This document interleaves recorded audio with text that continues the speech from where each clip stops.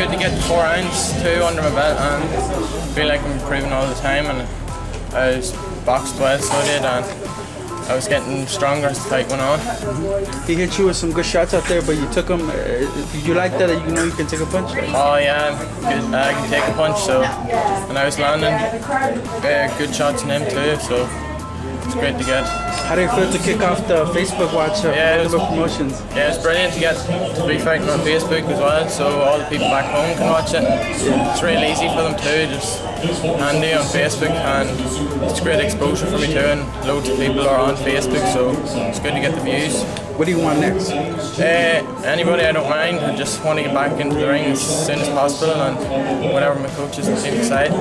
You're pretty big for your age, man. Is, is, is it like, is the weight fine? Is that okay? Like, do you Oh, kind yeah. of stand there for a while, or Yeah, right now I'm real strong at 147. I feel stronger right now than I have in previous fights at 147. So I'm going to stay there as long as feel strong with it, and right now I do.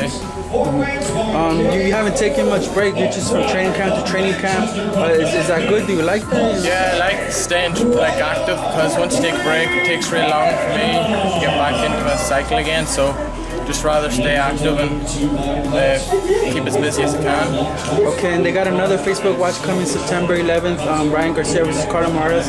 Can you give us your thoughts on that matchup?